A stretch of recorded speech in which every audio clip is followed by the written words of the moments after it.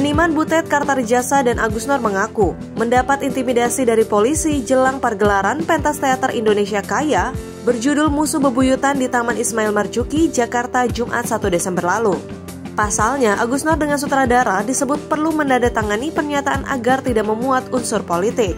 Padahal, seniman itu menegaskan lakon yang dihelatnya itu merupakan kisah sederhana.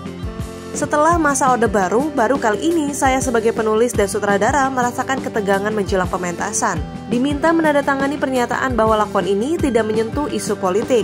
Lelucon sering kali menjadi ancaman terhadap kekuasaan, ujar Agus Nor.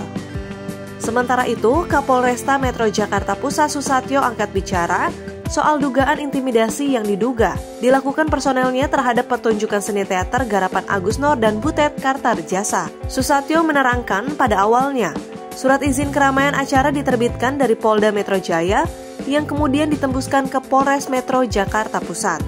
Berdasarkan surat tersebut, Susatyo kemudian menerbitkan surat perintah pengamanan.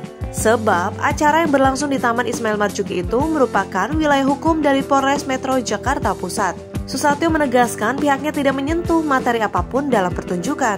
Pada intinya, dia mengaku hanya mengamankan acara teater yang berlangsung. Sehingga tidak ada, kami tidak menyentuh pada aspek materi apalagi perizinan. Sehingga kami fokus pada pengamanan kegiatan termasuk tamu-tamu yang datang. Ujar Kapolresta Metro Jakarta Pusat Susatyo.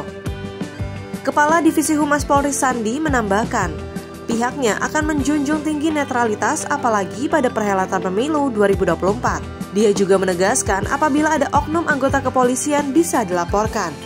Dengan begitu, isu-isu terkait netralitas tidak menjadi bola liar di masyarakat. Apabila ada oknum yang tidak sesuai ketentuan, silakan dilaporkan. Jadi, kita tidak usah berpersepsi, tidak usah berandai-andai, ujar Kepala Divisi Humas Polri, Sandi.